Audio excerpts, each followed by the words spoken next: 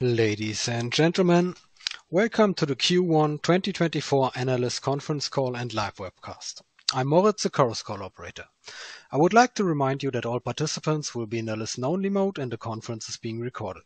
The presentation will be followed by a question and answer session. You can register for questions at any time by pressing star and one on your telephone. For operator assistance, please press star and zero. The conference must not be recorded for publication or broadcast. At this time, it's my pleasure to hand over to Ioana Patriniche, Head of Investor Relations. Please go ahead. Thank you for joining us for our first quarter 2024 results call. As usual, our Chief Executive Officer, Christian Sewing, will speak first, followed by our Chief Financial Officer, James von Moltke. The presentation, as always, is available to download in the investor relations section of our website, db.com. Before we get started, let me just remind you that the presentation contains forward-looking statements which may not develop as we currently expect. We therefore ask you to take notice of the precautionary warning at the end of our materials. With that, let me hand over to Christian. Thank you, Ioana, and a warm welcome from me. I'm delighted to be discussing our first quarter results with you today. In February, we laid out a clear path to our 2025 objectives for financial performance and capital distributions, and we have delivered in line with our objectives and targets. Group revenues were 7.8 billion euros. This reflects business growth and franchise momentum, particularly in areas where we have been investing, like our capital-light businesses, while net interest income was more resilient than expected. This performance underlines the benefit of our complementary business mix. We are delivering on our cost targets. Adjusted costs were in line with our commitment to a quarterly run rate of around 5 billion euros for this year. Provision for credit losses remained elevated this quarter, but in line with our expectations and prior guidance, considering where we are in the credit cycle. Portfolio quality remains very solid, and we continue to expect provisions for the year to be at the higher end of our guidance range of 25-30 basis points of average loans. Our return on tangible equity was 8.7% in the first quarter, up from 8.3% in the first quarter last year. Capital remains robust. Our CET1 ratio was 13.4%, enabling us to remain on track in raising distributions to shareholders and supporting business growth. Let me unpack some of the drivers of our first quarter results on slide two. Pre-provision profit was up by 11% year-on-year to 2.5 billion euros, and more than 20% higher since we launched our Global Hausbank strategy. This reflected continued progress on driving operating leverage, which is a core element of our strategy execution. We increased revenues in our operating divisions by 3% year-on-year, while group revenues were up 1% on a reported basis. Group revenues include corporate and other, which tends to add some level of volatility into our revenue line. As committed, we delivered growth in non-interest revenues and saw an increase of 11% year-on-year in commissions and fee income, mainly in divisions where we made investments last year. As expected, our reported net interest income declined this quarter, but net interest income remains stable in our banking books, and James will shortly talk you through this in more detail. We reduced adjusted costs by 6% year-on-year and 5% sequentially to around 5 billion euros, in line with our guidance. This includes bank levies and higher compensation costs, which James will discuss later. Now let's look at the franchise achievements across all divisions on slide three. The Corporate Bank delivered strong business growth with a 5% increase in incremental deals won with multinational corporate clients compared to the prior year quarter.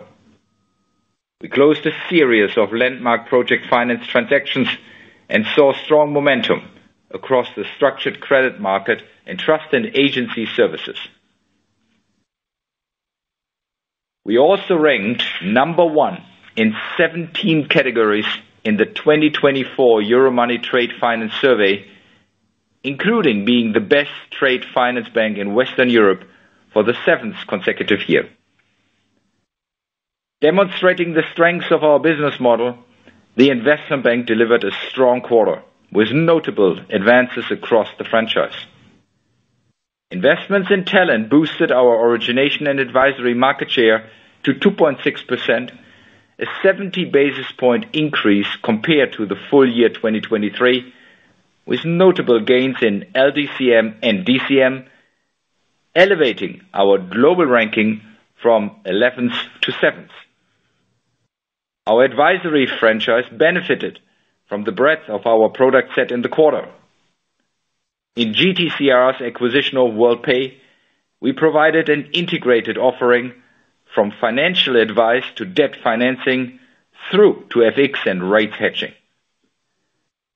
The revenue increase in FICC was driven by both financing and our well-balanced business portfolio, which supports our revenue profile through the cycle. We maintained our strengths in credit trading, driven by our investments in 2023, particularly in the flow business, and we also grew revenues in the Americas. These developments further diversified revenue mix in our portfolio. The Private Bank benefited from our investments. Accelerated business momentum delivered 12 billion euros of net inflows in the first quarter, which makes it 17 consecutive quarters of net inflows, bringing the total assets under management to 606 billion euros, with a strategic shift toward fee-generating investment solutions. We also continue to strengthen capabilities in strategic areas by increasing coverage of ultra-high net worth individuals in Germany and enhanced offering of investment solutions, including third-party exclusive collaborations, which should drive further inflows. Asset Management delivered another strong quarter of volume growth.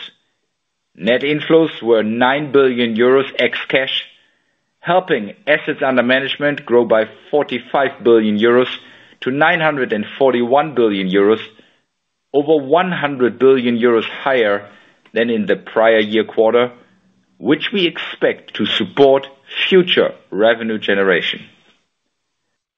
Now let me turn to the progress against our strategic objectives on slide four. Starting with revenues, we have delivered a compound annual growth rate of 6% since 2021, in line with our raised target range of 5.5%-6.5% from 2021 to 2025. As promised, we grew mainly in capital-light businesses with strong growth in origination and advisory, as well as in the Private Bank and in Asset Management, supported by high inflows of assets under management, underlying our franchise momentum. We aim to build on these developments as our franchise expands, following our investments in growth initiatives across all business segments. With net interest income resilient at the start of the year and growth in non-interest non interest revenues, we feel we are well on our way to our 2025 revenue ambitions. We continue to deliver on our 2.5 billion euro operational efficiency program. We have completed measures with delivered or expected savings of 1.4 billion euros, nearly 60% of our target, with around 1 billion euros in savings already realized. The incremental efficiencies this quarter were driven by optimization of our business in Germany and reshaping of our workforce in non-client facing roles. We have further incremental measures already underway, including re-engineering of our operating model via additional front-to-back improvements of product processes and harmonization of infrastructure capabilities.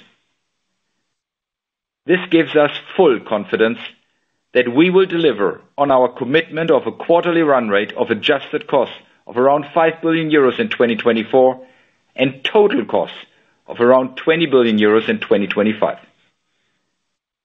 Finally, on capital efficiency, we achieved a further 2 billion euro reduction in RWAs, bringing aggregate reductions to 15 billion euros.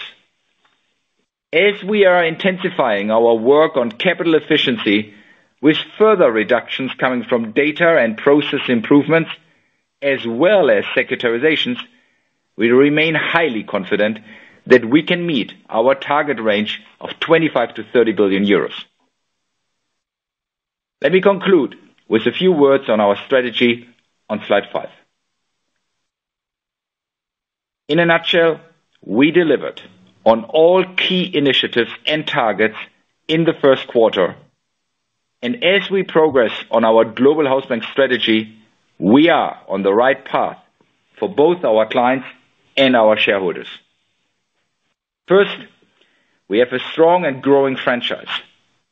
Clients come to us as our well-balanced, complementary businesses provide them with full service products and solutions. This supports our revenue growth through different market cycles and drive our market share. And as we said consistently, clients want a partner that offers them an alternative to large U.S. banks, a partner with our expertise, product range, and global network. Second, we continue to improve our operational efficiency. We are maintaining our cost discipline, and as always, we are committed to our approach of self-funding our investments.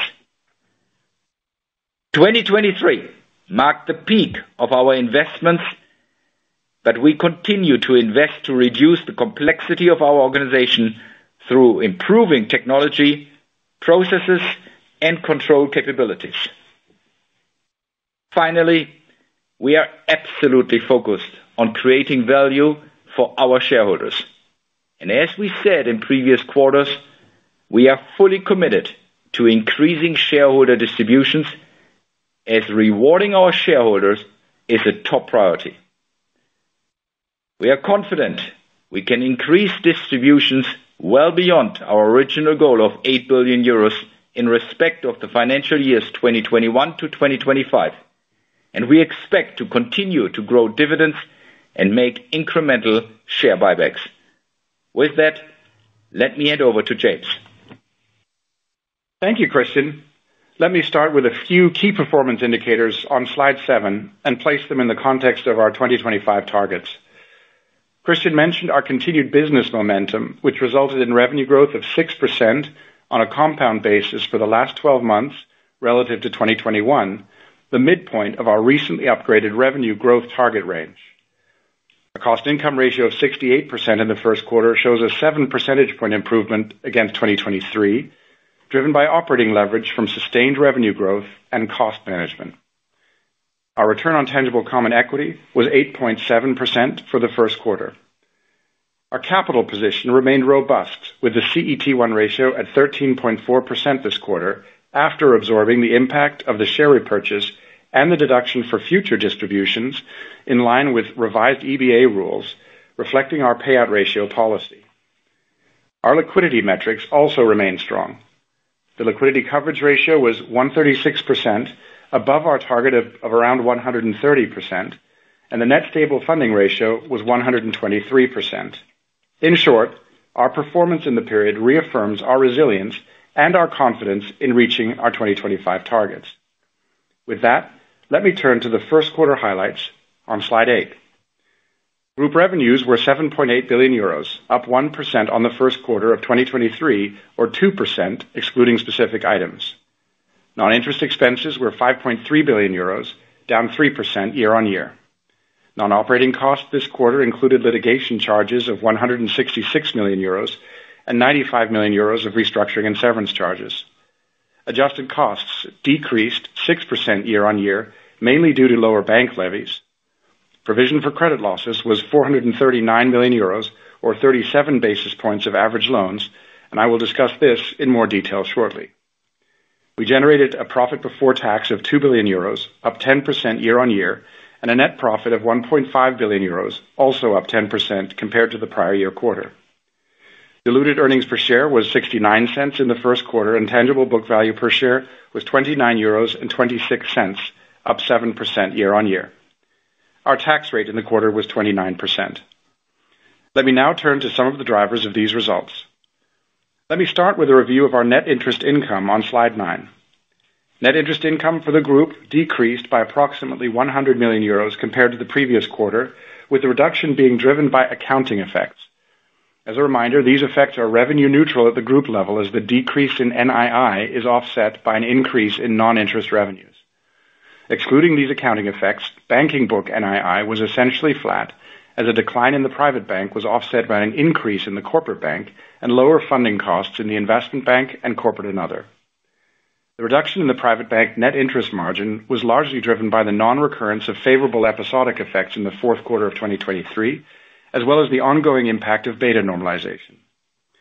On an absolute basis, net interest income in the private bank is in line with the plans on which our NII guidance from last quarter was based. The increase in corporate bank NII was due to a positive one-off impact from a CLO recovery, which was accounted as NII, with deposit betas showing a steady increase in line with our assumptions. We expect to see a corporate bank NII decline in the coming quarters as betas continue to normalize. NII in FIC financing was essentially flat quarter-on-quarter. We're starting to see margin expansion on the asset side, which, if it continues, will help offset margin compression from beta normalization. In summary, the development in the first quarter reinforces our expectation that we will meet or improve on our prior guidance of a 600 million euro reduction in banking book NII for 2024 relative to the prior year. With that, let's turn to adjusted cost development on slide 10. Adjusted costs were around 5 billion euros for the quarter, specifically 5.02 billion euros, excluding bank levies, up 3% year-on-year, but down 4% sequentially, in line with our guidance. We were disciplined in most expense categories, and the modest increase was primarily driven by higher compensation and benefit costs, reflecting inflationary pressures on fixed remuneration, increases in internal workforce after our targeted investments in talent throughout 2023, and higher performance-related compensation. The increase in compensation and benefit costs was partially offset by workforce optimization. Let's now turn to provision for credit losses on slide 11. Provision for credit losses in the first quarter was 439 million euros, equivalent to 37 basis points of average loans. The decline compared to the previous quarter was driven by moderate stage one and two releases of 32 million euros due to improved macroeconomic forecasts and model recalibration effects, which occurred in the prior quarter. Stage three provisions at 471 million euros remained elevated at a similar level to the previous quarter. This included continued weakness in the commercial real estate sector, mainly impacting the investment bank, and the continued impact of operational backlogs in the private bank. Our full year guidance for provisions is unchanged at the higher end of the range of 25-30 basis points of average loans. This reflects our expectation that provisions will remain elevated in the first half of the year and should gradually reduce in the second half. The decline is expected to be driven by an improvement in the credit commercial real estate sector and the partial reversal of backlog-related provisions in the private bank. Before we move to performance in our businesses, let me turn to capital on slide 12. Our first quarter Common Equity Tier 1 ratio came in at 13.4%, compared to 13.7% at year-end 2023. We had a strong capital supply this quarter, and the sequential decline was driven by our distribution actions and plans together with business growth. 19 basis points of the decrease reflects the ECB approval for our 675 million euro share buyback, which we commenced in March. Half of the first quarter net income was deducted for future capital distributions in line with our 50% payout ratio guidance, with the remainder supporting other deductions. 12 basis points of the decrease came from RWA growth. The increase in RWA is net of reductions due to RWA optimization achieved during the quarter. At the end of the first quarter, our leverage ratio was 4.5%, 8 basis points lower compared to the previous quarter. The decline was primarily driven by lower Tier 1 capital in line with the movement in CET1 capital, with leverage exposure broadly unchanged. With that, let's now turn to performance in our businesses, starting with the Corporate Bank on slide 14. Corporate Bank revenues in the first quarter were 1.9 billion euros, essentially flat sequentially, and 5% lower compared to the prior year quarter, which marked the revenue peak of the current rate cycle. Year-on-year, the revenue decrease reflected the normalization of deposit revenues, lower loan net interest income, and the discontinuation of remuneration of minimum reserves by the ECB, predominantly impacting our corporate treasury services businesses, partly offset by 3% higher commissions and fee income. On a sequential basis, the revenue development mainly reflected lower overnight NII. Loans declined by 5 billion euros compared to the prior year quarter and remained flat sequentially, reflecting muted demand and our continued selective balance sheet deployment. Deposits were 31 billion euros higher year-on-year and over 10 billion euros higher than the fourth quarter, mainly driven by higher term deposits. Provision for credit losses was 63 million euros or 22 basis points of average loans, essentially flat versus the prior year, reflecting resilience of the corporate loan book. Non-interest expenses decreased sequentially, driven by lower internal service cost allocations and the FDIC special assessment charge in the prior quarter, but increased year-on-year due to higher litigation costs. This resulted in a post-tax return on tangible equity of 15.4% and a cost-income ratio of 64%. I'll now turn to the Investment Bank on slide 15. Revenues for the first quarter were 13% higher year-on-year on a reported basis, or 14% when excluding specific items. Revenues in fixed income and currencies increased by 7% versus the prior year quarter, demonstrating the underlying diversification of the business. Financing performance was solid, with revenues up 14% year-on-year, reflecting a robust carry profile and strong levels of issuance and securitization fees. As this is the first time we're disclosing financing revenues separately, you can find further information on the composition of the business in the appendix on slide 38. Credit trading revenues were again significantly higher year-on-year as the business continued to build on the successful execution of our strategic initiatives and investments made through 2023, specifically in the flow business. Emerging markets revenues were also significantly higher, with revenues up across all three regions. Client activity was up year-on-year, aided by the investments in Latin America. Foreign exchange revenues were significantly higher, benefiting from the non-repeat of the interest rate market dislocation seen in the prior year. The impact of a refocused business model with investments into controls and technology are also beginning to materialize, and collaboration with the wider franchise is driving cross-sell revenues in the quarter. Rates revenues were significantly lower when compared to a very strong prior year quarter and reflected a reduction in market volatility. Moving to Origination and Advisory, revenues were up 54% when compared to the prior year quarter, with the business gaining market share in a growing fee pool environment, both year-on-year and versus the prior quarter. Debt origination revenues were significantly higher, benefiting from a material improvement in the leveraged debt market conditions, while investment-grade debt issuance activity was also higher year-on-year. Advisory revenues increased versus the prior year despite a reduction in the industry fee pool. The announced pipeline for the second quarter also remains strong. Non-interest expenses and adjusted costs are lower year-on-year as a result of significantly lower bank levy charges, partially offset by higher compensation costs, reflecting targeted investments in 2023, including the Numis acquisition. The loan balance increase versus the prior quarter was primarily driven by increased activity in debt origination, linked to the recovery seen in the industry this quarter, with a smaller increase in financing. Provision for credit losses was 150 million euros, or 59 basis points of average loans. The increase versus the prior year was driven by an increase in Stage 3 impairments, primarily in the CRE portfolio. Turning to the Private Bank on slide 16. We implemented a new reporting structure this quarter reflecting our client segmentation. For further details, please see slide 39 in the appendix. The division reported revenues of 2.4 billion euros, including higher revenues from investment products and lending, which were more than offset by continued higher funding costs, including the impact of minimum reserve remuneration and the group neutral impact of certain hedging costs now allocated to the business previously in treasury. Sequentially, revenues remained stable, driven by higher revenues from investment products in line with our strategy to grow commissions and fee income and reflecting seasonality.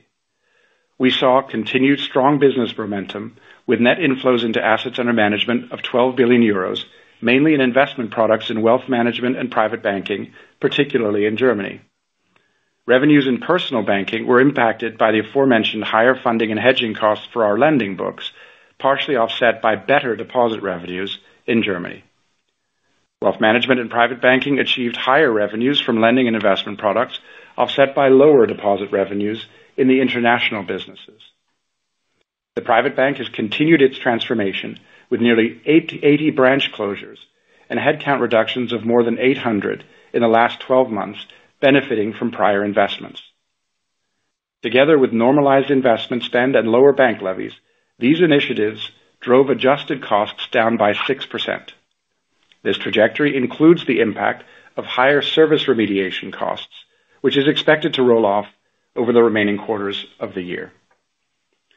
Pre-tax profit increased by 24%, driven primarily by cost reductions. Provision for credit losses in the quarter was affected by elevated workout activity in wealth management, as well as continued temporary effects from the operational backlog in personal banking. Overall, the quality of our portfolios remains intact. The previous year quarter included single name losses in wealth management.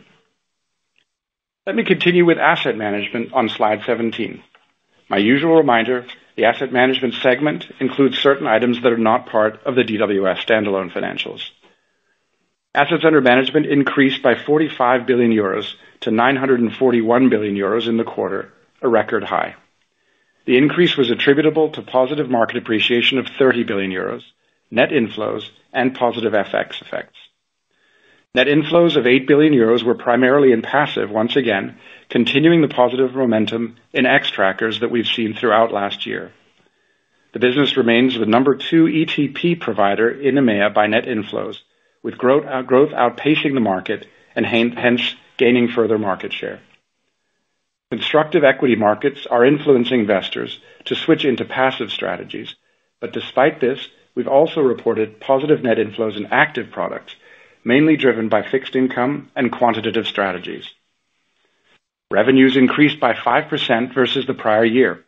This was primarily from higher management fees of 592 million euros, resulting from higher fees in liquid products due to increasing average assets under management. Non-interest expenses were 5% higher, while adjusted costs were 3% higher than the prior year. Compensation and benefits costs were higher, mainly driven by variable compensation due to DWS's share price increase, while non-compensation costs were effectively flat despite inflationary pressures.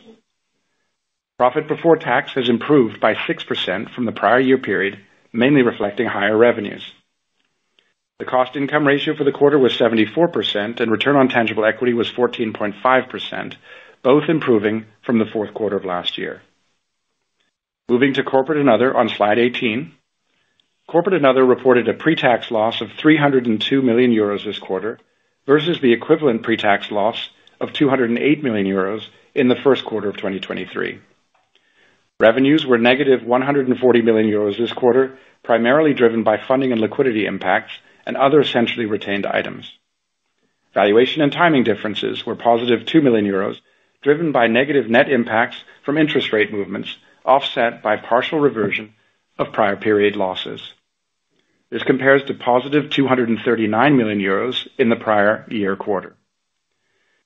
Pre-tax loss associated with legacy portfolios was 96 million euros, driven primarily by litigation charges and expenses. At the end of the first quarter, risk-weighted assets stood at 33 billion euros, including 12 billion euros of operational risk RWA. In aggregate, RWAs have reduced by 11 billion euros since the prior year quarter. Leverage exposure was 36 billion euros at the end of the first quarter, essentially flat to the prior year quarter. Finally, let me turn to the group outlook on slide 19. The first quarter showed that the expected benefits of our investments are materializing and will help to drive growth in non-interest revenues, while we have limited the downside to our net interest income given our interest rate hedging activity. This demonstrates that our businesses are positioned for future growth, contributing to the delivery of our revenue target of around 30 billion euros in 2024. We affirm our target to maintain our quarterly run rate of around 5 billion euros of adjusted costs this quarter and around 20 billion euros for the full year. We expect provisions for the year to come in at the higher end of our guidance range of 25-30 basis points of average loans. With our CET1 ratio of 13.4%, we are well positioned and will continue to focus on distributions with a targeted payout ratio of 50% for the financial year 2024. And finally, as Christian said, our full focus remains on our progress through the execution of our strategy and the delivery of our 2025 targets. With that, let me hand back to Ioana, and we will look forward to your questions. Thank you, James. And with that, operator, we're ready to take questions. Ladies and gentlemen, we will now begin the question and answer session. Anyone who wishes to ask a question may press star and one on their touch-tone telephone. You will hear a tone to confirm that you have entered the queue. If you wish to remove yourself from the question queue, you may press star and two. Participants are requested to use only handsets while asking a question. Anyone who has a question may press star followed by one at this time. One moment for the first question, please. And the first question comes from Kian Abouhossein from JPMorgan. Please go ahead. Yeah. First of all, thank you for taking my question, and a shout-out to Fabrizio and Ram doing such a great job on gaining market share, especially against some of the European peers that also reported today. Um, two questions. Um, first of all, on revenues, um, 32 billion in 2025 have talked about in the past. Uh, Can you give us a little bit more of a split how we should think about reaching this target um, by division in the context of the below 600 million NII adjustment this year? And then the second question is around cost. Um, 20 billion of adjusted costs this year, stated 20 billion next year to get to your cost income target. Uh, there's a delta of around 600 million-700 million. If you could please talk about the assumptions that you're making here, and what are the easy wins and what are the difficult ones? And if I may, also the bank levy assumptions uh, for this and next year. Thanks. Thank you, Kian, and uh, thank you for your question. Also, thank you very much for the shout-out to Fabrizio and Ram. I don't have to do it then anymore. Um, I even think that we took some market share from the U.S. banks, not only from the European banks, uh, if I think about the performance uh, in the investment bank. Look, to your first question, uh, let me tackle that, and James will then go on with the second question, and obviously with further comments to question number one. Um, let me start actually um, on the journey in 2024, because it really builds up nicely then to the 2025 story. It starts really with this good Q1 in my view, across all businesses. And um if we now look how the business is progressing, then you can really see that the stable businesses, i.e., the corporate bank, the private bank, and asset management, that what we have seen in Q1 is actually a good number you can have in your mind also for the following quarters. Um, and one item which is uh, um, which is positive for us, and James can give you uh, some further details, is that uh, the NII is actually behaving even better than we thought, and that what we have given you earlier this year. So in this regard, there is less um, headwind on the NII side. And on the fee-generating side, Um, we are actually um, succeeding there where we wanted to succeed and where the investments um, are now paying off. Uh, you have seen the market share gain in the uh, origination and advisory business. We gained market share by 70 basis points. Uh, we have shown 500 million revenues in O&A this quarter. To be honest, it's a number which I would also see based on the mandates for Q2. Uh, always hard to then go for Q3 and Q4. but With the investments we have done in people, but also in Numis, uh, I think that again, Q1 is a very good marker in the O&A business. We have done, as you said, a very good job uh, in the FIC business that is far more diversified, far more stable, far more robust. And with all the rating upgrades uh, we have seen, obviously, um, uh, it also helped to regain clients. Um, and these are structural improvements where I would say, um, this is uh, on the one hand, clearly supporting our market share gains, but also telling us that these kind of businesses, and flow business we are doing there is likely coming back also in the following quarter. So in a nutshell, if you take Q1 and you have the stability in the three business in asset management, private bank and corporate bank, potentially even with some upside in asset management, um, and uh, you see the strong pipeline we have in the O&A business and also the market position we have regained in the FIC business, I'm more than confident that we can achieve the 30 billion um, just by adding up these four operating businesses based on the starting point we have right now. If I then go into 2025, the first comment is that there is um, the tailwind in on the NII side in the private bank. We have always talked about that. We have now for quarters and quarters gathered assets under management, like in Q1 in PB and in asset management, and that obviously is driving uh, further uh, further revenues there. So the NII tailwind and uh, the benefits from the assets under management growth is driving further the private banking revenues in 2025 versus 2024. Um, then in the corporate bank, actually, there is no NII headwind anymore in 2025 versus 2024, but we are benefiting from all the mandates which we are uh which we are getting actually not only here in Germany, but uh, globally. You have seen in the in the script actually, um, how also in Q1 versus Q1 last year, we actually increased our mandates, which we won with multinational corporates. And that is again, a momentum which I uh, can see going forward. So a very stable revenue growth then in the corporate bank, uh, also next year. In the investment bank, to be honest, Kian, I absolutely um, further uh, expect that we go to at least the 1% market share gain versus that what we had in 2022. We always said that with the investments which we have done, we want to gain 1% market share. We have done 0.7% in Q1, but there is more to come. And I also do believe that in particular in the O&A market, there is a further recovery. We can see the momentum uh, in the M&A market, in the ECM market. It is starting, but it's not there where I can see the fee pool is in 2025. Uh, obviously, when I go to the last point in the asset management, also there, we will benefit obviously with the continuous inflow in assets under management.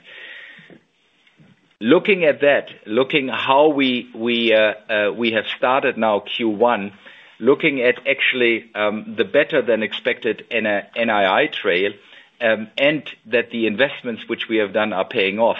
Um, I'm not only confident in the 30 billion, but then obviously with the build-out in 2025 uh, in the 32 billion. Kian, on expenses, um, you know, we talk a lot about run rates, um, monthly, quarterly run rates. We're obviously pleased um, uh, that our focus on delivery achieved the 5 billion this quarter. We intend to continue that quarter after quarter over the course of this year and manage to an exit rate that that puts us on track for our 2025 numbers. A couple of moving parts. So First of all, bank levy, we'd probably expect to book about 50 million this year, That might be 150 next year, but it depends very much on assumptions around, what the SRB does, uh, growth rates and deposits and the like. Um, then there's the non-operating costs. Um, you know, they've run high for the past several years, but we're we really think at the tail end of the work we need to do in terms of restructuring and severance, you know, the litigation profile that we've talked about in the past. So I'd love to see that sort of, you know, in in and around 300 million-400 million in total next year. Um, which would obviously imply a run, you know, an operating cost level, you know, in the high 19s. On a run rate basis, that means we we need to be taking expenses down by, say, 50 million-100 million per quarter next year to achieve our numbers. You ask about easy wins, you know, this is all hard work and focus and attention, execution. You know, the starting point is really the delivery of the... You know, we talk about 1.4 billion of actions that are achieved, but not yet in the run rate. The run rate reflects uh, 1 billion. So there's 400 million to come that's already executed, which, you know, in reality, makes your difference in terms of the the quarterly run rate. So in essence, we just need to crystallize the existing items. In reality, we're gonna have some inflation, we're gonna have some additional investments that take place, and we then need to offset those with the remaining actions uh, underway, the closing the gap between 1.4 and 2.5, which is the total target. Um, so the simple version of what's still to be done, it's still day-to-day execution on the glide path of those measures, whether that's branch closures, app decommissioning, headcount reductions, process simplification, front to back on data. All of the things that we've been talking about for some time now are on a glide path for delivery, and we're confident um, that we're set up to achieve the goals we laid out for this year and next. Great. Very much. Thanks, Kian. And the next question comes from Anke Reingen from RBC. Please go ahead. Uh, yeah, thank you very much um, for taking my questions. Um, the first one is um, on capital. Now we start with a 13.4, and I'm just trying to understand how much uh, room there is for additional buybacks in the course of the year. Is it um, you're aiming, I guess you said in the quarterly report, uh, aiming for flat, which will be 13.7, or would you be happy with 13.5 as well? And how should we think about um, potential impacts for the rest of the year? Um, any regulatory headwinds, and how quickly can you deliver on the remaining 10 billion-15 billion of RWA optimization? And then secondly, on loan losses, what does give you the confidence about the decline um, in the second half? Um, I guess your um, commercial real estate, the stress loss is unchanged, but what's the impact of rates uh, staying higher for longer? Is there any pressure by the regulator to address commercial real estate exposure faster? And also, you mentioned um, a reversal of the backlog-related provisions um, in the private bank. Um, how much is this in terms of, and could be a benefit in the second half? Thank you very much. Thanks, Anke. So look, the the target that we've been working to is really a January first target with the Basel III, you know, impacts reflected, and a 200 basis point gap to MDA against that. So solve for 13.2 on January first with the 15 billion in it that we've talked about. Um and really, what we have in the balance of the year is is earnings, less additional uh stock buybacks, um and the impact of business growth. And then from a model methodology, all that stuff, think of that as as as neutral. We're working through that capital optimization to at least offset those pressures. Q1 is always a quarter where, you know, you'll see more burdens on the capital supply side, so I would not look at that as as representative of the capital build that that earnings, you know, can drive. And while Q1 is usually the, um, you know, a high point in terms of organic capital generation, you know, we've had a pretty good track record of generating sort of 25-30 basis points per quarter, um, you know, over the past several years. So so That's sort of the walk um, that we would outline to you. On the loan losses, the we talk about sort of three things that are running high in the in the first quarter. Commercial real estate, which we expect to improve gradually over the year. Um, the collections activity disruption that we expect to also correct and potentially um, see some recoveries in the second half. And equally, on the wealth management side, we've had a series of cases over the years where we hope as we move to work out, there may be recoveries there as well against an, I'll call it underlying strong credit portfolio. So that reversion in the second half is one that at least based on everything we see at the moment, we have good line of sight on. We'd need to, in essence, compensate for for every basis point above 30 today, we'd need to compensate being below 30 in the second half. But but we see the drivers that that would um would drive us there. And lastly, you know, commenting on part of your question, we've had a very deep dive into the commercial real estate portfolio over the last, you know, four, five, six months, sort of name by name, Um, and feel comfortable that with the provisions we took uh, in Q1, we've, we've you know, we reflect the risks that we see in that portfolio. We have, as we mentioned, seen the firming in our portfolio that's visible, you know, in some of the market pricing indices and what have you. While that is to some degree rate sort of dependent, um, you know, we we do think that that we're seeing a floor and, and you know, and are optimistic, at least based on what we see, that that'll be um, that'll be preserved over the over the balance of the year. And you don't see any pressure by the regulator to take anything faster? Look, the regulator is very focused. I mean, we're obviously careful in how we comment on these things. Mm-hmm. But the regulator is naturally focused on how the banks, broadly defined, are managing through, um, you know, a sectoral stress in commercial real estate, not just in the U.S., but globally. Um so you'd expect them to be paying a great deal of attention and and and and for us as consequently to be to be looking carefully at our portfolio. Thank you very much. And the next question comes from Nicolas Payen from Kepler Cheuvreux. Please go ahead. Yes, good morning. Thanks for taking my question. I have two, please. The first one will be on NII. Uh, you mentioned in your prepared remark that you could exceed your guidance of a decrease of 600 million in NII this year. And I was wondering, what are what are the conditions uh to beat this guidance, actually? Is it higher rates for longer? Is it stable betas? Is it an improvement on the asset margins, as you mentioned? Any color will be will be great. And also, what kind of magnitude we could uh we could expect regarding the beats on this guidance. And the second question would be on the on incremental share buyback uh, for H2. Have you have you got any update to give us whether you have applied for this new share buyback with the ECB, or what kind of discussion you have with the regulators uh, regarding this topic currently? Thank you. Thanks, Nicolas. Um, so on the net interest income, I think magnitude, it's it's early in the year to say, but but potentially considerable, you know, in in three-digit millions, um, uh, easily in three-digit millions, put it that way. And the drivers are better deposit margins, better deposit volumes, um, firming loan margins, um, better funding costs, including unsecured, uh, Beta is still running behind.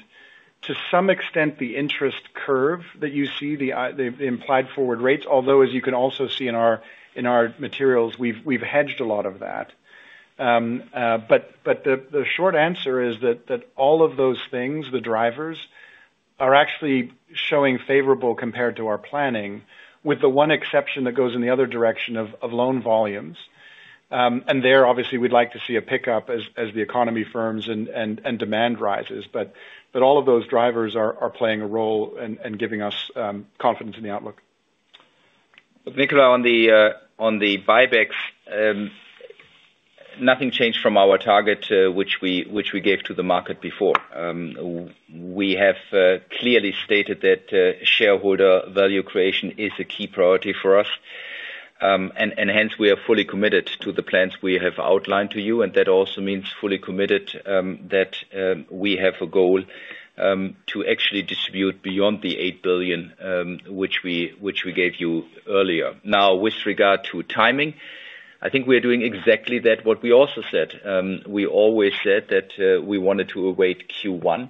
Uh, we wanted to see that Q1 is running in line with our own plan, that we show operating leverage, that we show further increasing revenues, that we have costs under control. Exactly this has happened, um, and that gives us the confidence um, that we can now obviously um, also plan for the next steps and go into the discussions. But that is a discussion with the regulator, and this should be always respected. But as I said, we always said Q1 needs to be done. We are happy with Q1, and now we take the next steps. Thank you very much. And the next question comes from Giulia Aurora Miotto from Morgan Stanley. Please go ahead. Yes. Hi, good morning.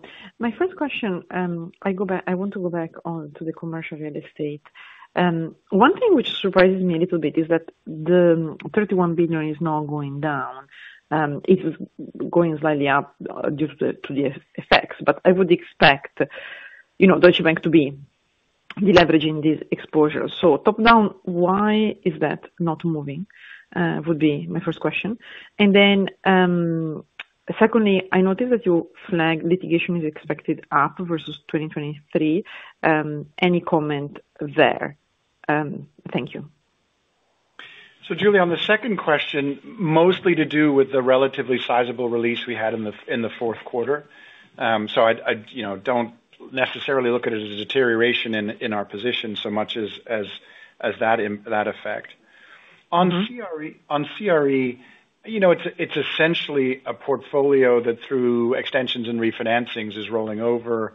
FX plays a small role and and a very selective, you know, uh, new new financing activity, typically in lower risk uh, areas um, that that that flow into the definition. Um, Uh, it's, it's yeah, it's a rolling portfolio, and I don't I wouldn't expect it to to to diminish dramatically um, in the next several quarters.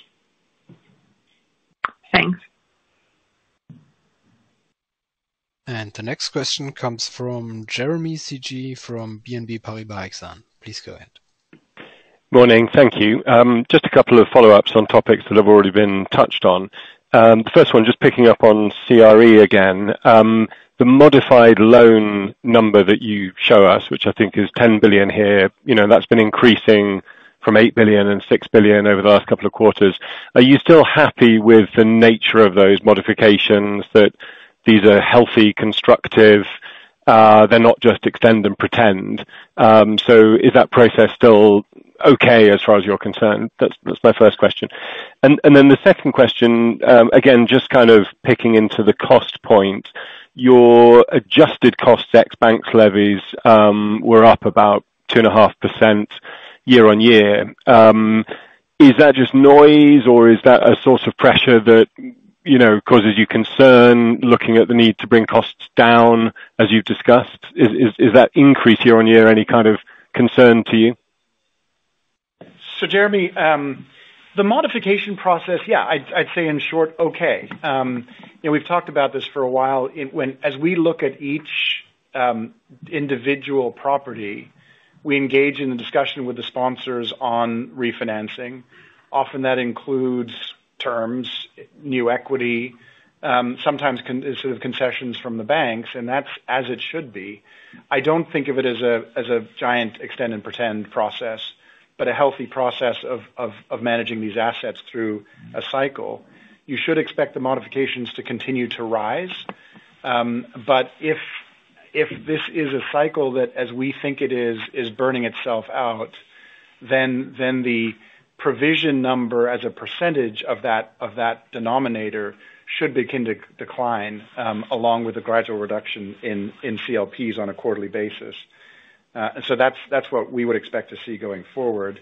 Um, a lot of work still lies ahead, but um but so far, behavior has been rational in light of valuations. Um, on adjusted costs, Um, that increase represents, if you like, the cumulative impact of the various investments we'd be making. We've talked about investments in controls. We've even talked about investments in technology. Also, the front office investments we made last year, and now the run rate impact of the Numis transaction as well, fully in the quarter. So that that increase is there. Is it concerning? Um, no, insofar as it was deliberate actions and targeted investments on our part.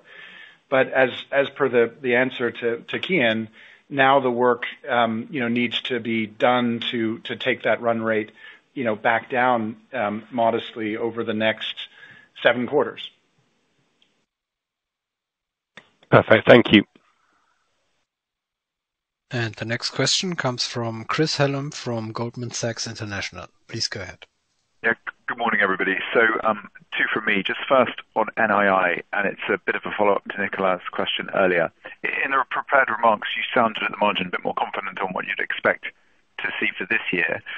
But if you look into next year, has anything changed for the NII outcome then, particularly in light of, you know, the moves we've seen in rate expectations in the past couple of months, Um, and also the positive development in deposit funding costs in Germany? And then secondly, so thank you for the extra disclosure on FIC. Um, if I look at the business mix on slide 30, that's split between EM credit and macro. Is that the right mix of business when you think about the global Hausbank strategy? Or would you expect that pie chart to change shape meaningfully over the next few years, whether it be through investments or share gains, et cetera? Yeah. Okay, Chris, I'll try both, and and Christian may want to add. Actually, our hope was that we would sound a little bit more confident on this call than in the prepared remarks on um, on the net interest income. You know, we are comfortable with the trajectory, um, but we're trying not to get too far over our skis on it. Um, we think it's supportive of the trajectory to 30 billion this year and 32 billion next year. And the way I'd, you know, to be honest, the way this will work, Chris, is the incremental NII that we expected to get in 2025 would be compared to the higher base in 2024. So that it would it would essentially just add because of the factors that I that I outlined, um, being the drivers. So, so short version, this is incremental in 2024 and carries over to 2025. The numbers, you know, that donut on the, in the appendix, that does move over time. There's no question. It's depending on the mix shift in the in the market environment generally. We think we've got a healthy portfolio mix um in in our, what I'll call fixed markets, FIC markets. We're describing here as FIC ex financing. Um, but, but it's driven by macro and micro trends, you know, client positioning. It's driven by, you know, the the the extent to which structured transactions are happening in any one of those product areas. So it it does move around, but we think of it as a healthy portfolio mix. Yeah, and Chris, I think um, two additional comments. Number one, um, if if you take that over time, actually, uh, we have seen a nice uplift actually in credit trading following Uh, investments which we have done. Um, and while we wanted to actually have a more balanced uh, uh, portfolio in the FIC ex financing business. And secondly, I would say that going forward, um, if you think about the global Hausbank concept and the way how actually Fabrizio is tying up um, the day-to-day FIC work with the corporate bank, I would say that we have actually a really good chance Um, also with that, what is happening on the corporate side and how corporates are thinking, that the emerging markets piece and also parts of the macro pieces are actually further increasing. We can see that these discussions are happening each and every day. Uh, we have an initiative where we are actually targeting uh, corporates um, within the corporate bank and tying them uh, into our FIC businesses, and we can see the results. So I would say that in a normal development, and now taking aside the comments uh, um, James did on, you know, uh, unique and particular transactions, but with the network we have, with the global approach we have, um, I could see that the emerging markets piece and parts of the macro piece are actually growing because the connection of the IB with the corporate bank. Really helpful. Thank you very much. And the next question comes from Stefan Stalmann from Autonomous. Please go ahead. Yes, good morning. Uh, thank you very much for taking my questions. Um, I wanted to ask about the private bank, please. Um, you had another very good flow quarter. Uh, I think your um, annualized growth in wealth management and private banking is running at around 8% annualized from net new money. And I'm really hard pressed to come up with any competitor Um, getting close to that kind of growth. Can you maybe talk a little bit more about what you're doing there? What geographies are driving this, whether there are particular products or any other unique selling points that are explaining this?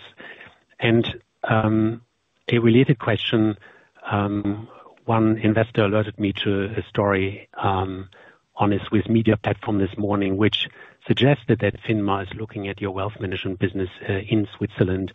Is there anything to flag there, or is it just a nothing burger? Thank you. Thank you um, for your questions. Let me start, and James will uh, uh, uh, will amend. Uh, look, on the FINMA uh, side, uh, we gave a clear statement um, that there is no restriction. And um, secondly, obviously, I hope you respect that we are not going more into details when it comes to regulatory discussions. But um, we have said everything in writing, so for us, we can onboard clients. Number two, with regard to wealth management and the private bank, yes, um, it has been actually um, since uh, Claudio has been with us, um, it has been always our focus actually to go more into the investment businesses. By the way, not only in wealth management, but also in the private bank. We see that as a clear growth area, and in particular, as a clear long-term growth areas. I think I said it before on these calls. If you think about what is one of the real sticky items also here in Germany going forward, it is what happens with the pensions of our retail clients. And the focus Claudio is giving to the investment businesses, where obviously we have an expertise which not a lot of other banks, in particular in the home market have, is something which is now helping us a lot. It also helps us, by the way, that we got all the rating upgrades, that uh, we have a completely different reputation in the market. And the investments Claudio did uh, in wealth management outside uh, Germany, in parts of European countries, in particular in Asia, you know that we invested uh, heavily in the Middle East, um, are now all paying off. And therefore, um, yes, we are happy with the growth, but it's part of a two to three-year story um, and strategy which Claudio built. Now, as we see the success, in particular in wealth management, as I said, we want to bring it more and more into um, the more private bank and retail bank business because there is actually the need for the clients. And therefore, I expect actually that we do see these kind of growth rates um, also going forward, which is again supporting that what I said um, in the first question uh, from Kian. One should not underestimate the continuous growth in revenues actually in those business from the continuous accumulation of assets under management, in particular in this business. So clear focus of Deutsche Bank. One thing just to add, I think the revenue profile is supportive, as you say, both fee and commission income and the interest income long term in private bank. I think the second thing is, as we talked about, the credit loss provisioning right now is more elevated than we would expect it to be sort of on a continuous basis.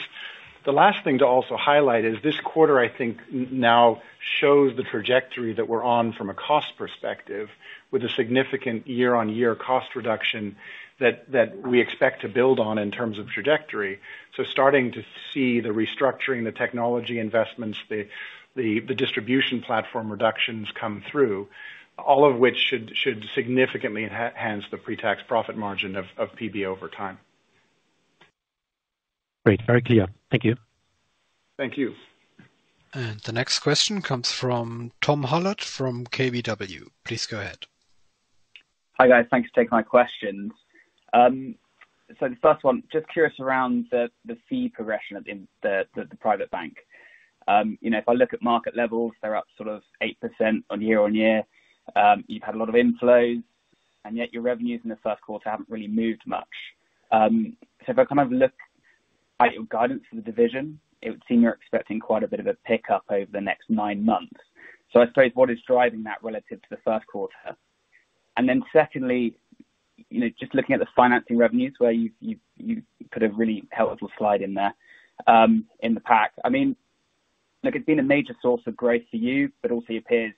Um, you know, I'm just curious about what's driving that kind of growth differential kind of versus pre-COVID levels and how sustainable that is.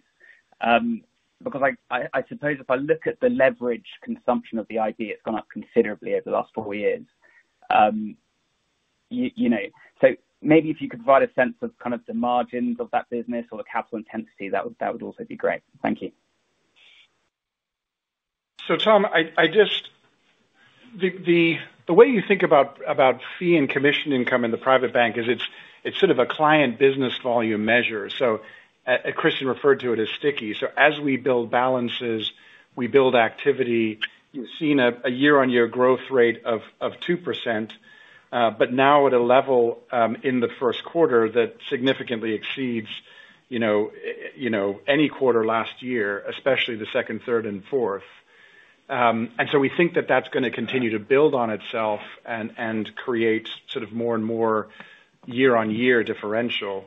There is some amount that obviously depends on clients' investment activity, trading activity, if you like, in any given quarter. But but the call it the stable revenue base that we're seeing in private bank and fee and commission income growth is very encouraging and I think um, is set to continue. I think in terms of your question about resources in the FICC business, we're we've been very focused on that, you know, uh, sort of consistently over the years. Um, we tend to look at it in terms of revenue production related to RWA. As you can see, market risk RWA relatively modest for us, so it is principally credit risk RWA, both in the balance sheet and derivative businesses. But we we think we've got some of the best in the business at at understanding and optimizing that.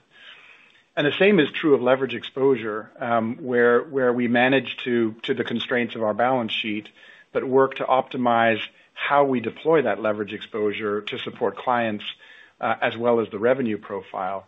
Sometimes, by the way, the business you do is leverage exposure intensive, but not RWA intensive, and sometimes the opposite. Uh and hence the the optimization efforts that we go to there are, are you know, considerable and sophisticated. Um, so I would um, stop there. I don't know if you wanna add to anything. Yeah. I mean, just to follow up, just from my side on the private bank. Um, is it is it fair for us to assume that kind of, you know, it increased 1.5% year-on-year? Is that something similar we should be expecting for the rest of the year, or are you more confident on that for the rest of the year? I think if you look at the prior quarter comparisons year-on-year for both CB and PB, what you'd expect is is a is a relatively significant uh, acceleration of the of the year-on-year growth in those in those fee and commission lines in the coming quarters. Okay. Thank you. Thank you. As a reminder, anyone who wishes to ask a question may press star followed by one. And the next question comes from Andrew Coombs from Citi. Please go ahead. Good morning. Thanks for taking my questions. Uh, I'll also echo the previous remarks. Thank you for the additional disclosure uh, on IB revenues as well. Um, two questions from me. Um, firstly, on costs. Uh, you drew out the FDIC charge in Q4. You haven't drawn out anything in Q1, but I know a number of the U.S. banks did take a top up. Um so could you just say, is there anything costs for FDIC this quarter as well that you'd like to specify? Um and then the second question, just on the corporate and other division, now that it's been restated to include the legacy portfolios. I think you've got a 226 loss this quarter, but it includes quite a sizable benefit on Uh, timing differences or valuation and timing differences. So what should we think of as, or what do you think is the usual quarterly run rate for that division going forward? Thank you. Thanks, Andrew. So, um, 8 million is the number this quarter on FDIC. Uh, by some a quirk of accounting, we can't characterize it as bank levies, so we don't call it out separately. Um, but it also means, you know, if I look at the net going into this quarter's run rate, actually, there were there's probably more things pushing it up than pushing it down, of which FDIC was one.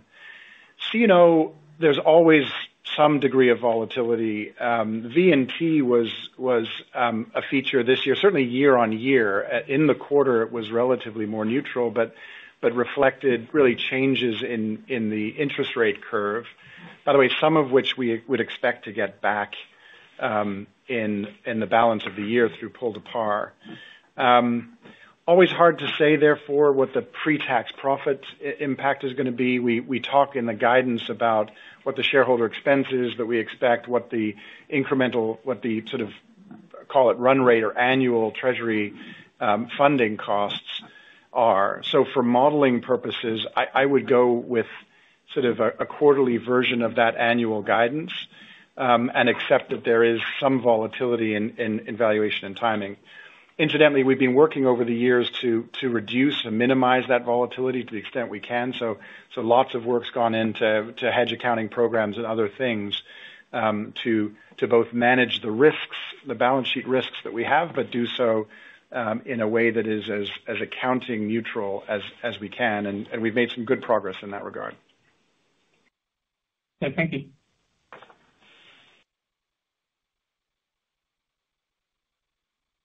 So it seems there are no further questions at this time.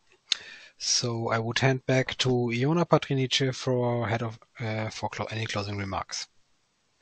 Thank you, and thank you for joining us and for your questions. Um, as ever, for any follow-ups, please come through to the investor relations team, and we look forward to speaking to you at our second quarter call.